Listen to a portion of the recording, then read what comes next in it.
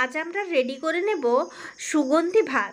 এটা যেমন একদম সরু বাসমতি চালের করা যায়, স্পাইসের চালেও করা যায়, আবার এমনি নর্মালি যে চালের আপনারা ভাত খান, সেই চালেরও করা যায়। আর এই সুগন্ধি ভাত মাঝে মধ্যে খেতে খুবই ভালো লাগে। আর তার সাথে সাথে অতিথি আপ্যায়নের জন্য তো বেস্ট বন্ধুরা। তার জন্য চলুন একটু দেখে নিই এই সুগন্ধি ভাতটা কীভাবে রেডি করব। আর আমি এখন যে মশালাটা বানাচ্ছি, এই মশালাটা আপনি গুঁড়ো করে একটা বদ্ধ ছোট্ট জারের মধ্যে রেখে দিতে পারেন। আর যে কোনো রান্নাতে একটু স্বাদ বাড়াবার জন্য আর একটা গন্ধ আসবার জন্য, সুগন্ধ আসার জন্য এই মশলাটা ব্যবহার করতে পারেন। তো বন্ধুরা, প্রথমেই যেটা দরকার আপনারা জানেন, সুগন্ধ বাড়াবার জন্য সেটা হচ্ছে জায়ফল এবং এর সাথে লাগছে জৈত্রী তো এখন এর সাথে আমি দেব দারুচিনি এগুলো সবগুলোরই নিজস্ব একটা করে গন্ধ আছে। আর আমরা তেমনি গোটা গরম মশলা রান্নাতে ব্যবহার করেই থাকি। আর এখানে আমার কাছে এই মুহূর্তে বড় এলাচ নেই, বড় এলাচ থাকলে বড় এলাচও নেবেন, আর তার সাথে সাথে ছোট এলাচও নেবেন। আর কয়েকটা নিয়ে নিচ্ছি লবঙ্গ। এরপর খুব ভালো করে এই গোটা মশলাগুলোকে আমি ভেজে নিচ্ছি। একটু ভাজা হয়ে গেলে এটা আমি গুঁড়িয়ে রেখে দেব, গুঁড়ো করে দেব। তো বন্ধুরা, খুব অল্প আছে এই মশলাটাকে ভেজে নিতে হবে। এবং যখন আপনি এটা রাখবেন, একটা বদ্ধ কৌটোর মধ্যে রাখবেন, নাহলে এর সুগন্ধটা কিন্তু উড়ে যেতে পারে। তো এখন ভাজা হয়ে গেছে, আর আমি গ্যাস অফ করে এটা গুঁড়িয়ে নেব। এখন আমি সাদা তেলে সুগন্ধি ভাতটা রান্না করব। প্রথমে কাজু এবং কিশমিশ। কাজু এবং কিশমিশ আমি তেলে ভেজে নিচ্ছি। আর এটা যদি আপনি এক চামচ ঘিয়ে ভাজেন কিংবা মাখনে ভাজেন, এর স্বাদ আরও বেড়ে যায়। কাজু, কিশমিশ একটু ভেজে নিলে তারপর যদি আপনি রান্নাতে অ্যাপ্লাই করেন, তাহলে এই রান্নার স্বাদ আরও ভালো হয় আর কাজু কিশমিশটা খেতেও খুবই ভালো লাগে। তার জন্য আমি এটা ভালোভাবে ভেজে নিচ্ছি। দেখুন কিশমিশটা ফুলে উঠেছে, আর দেরি নয়, আমি এটা তুলে নেব, না হলে চুঁয়ে যাবে। এরপর আমি পুরোটাই কিন্তু সাদা তেলে রান্না করব। এর সাথে আরও কিছু তেল দিয়ে দিচ্ছি, কয়েকটা ফ্রেশ তেজপাতা দিয়ে দিচ্ছি। তেজপাতার একটা নিজস্ব গন্ধ আছে।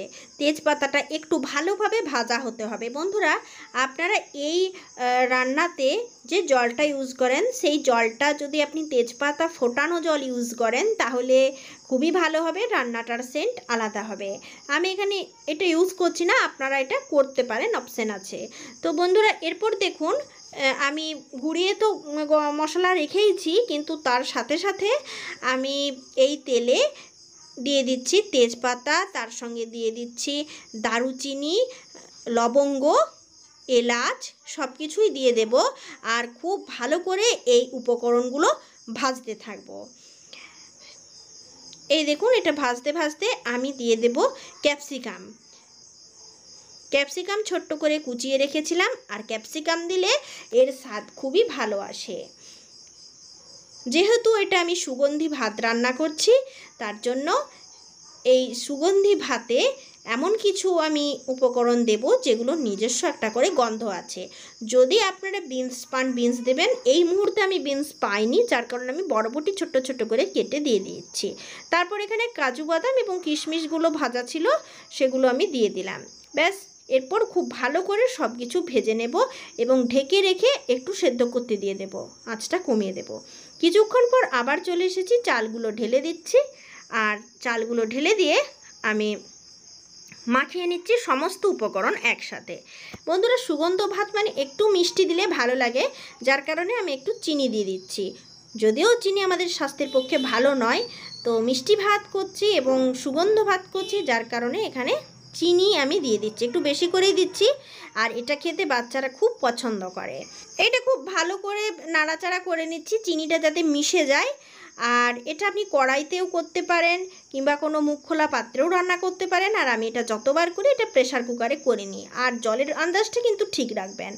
বেশি জল দিলেও কিন্তু সেদ্ধ হয়ে গেলে ভালো লাগবে না। এখন আমি রেডি করে নিলাম আর এটা কম আঁচে রেখে দিয়েছিলাম। আর এখন সম্পূর্ণভাবে ভাতটা কমপ্লিট হয়ে গেছে। এখন আমি একটা প্লেটে এই ভাতটা ঢেলে দিচ্ছে। রেডি হয়ে গেছে আমার সুগন্ধি ভাত। কিন্তু বন্ধুরা এখনও একটা জিনিস বাকি আছে সেই প্রথম অবস্থায় যে গুঁড়ো মশলাটা করেছিলাম, সেই গুঁড়ো মশলা এখন উপরে উপরে ছড়িয়ে দিয়েছি আর এটা ভালো করে মাখিয়ে রেখে দেব এবং কিছুক্ষণ পর গরম গরম পরিবেশন করব। তো বন্ধুরা রেডি হয়ে গেল আমার সুগন্ধি ভাত। আপনাদের কেমন লাগল অবশ্যই কমেন্ট করবেন। ধন্যবাদ।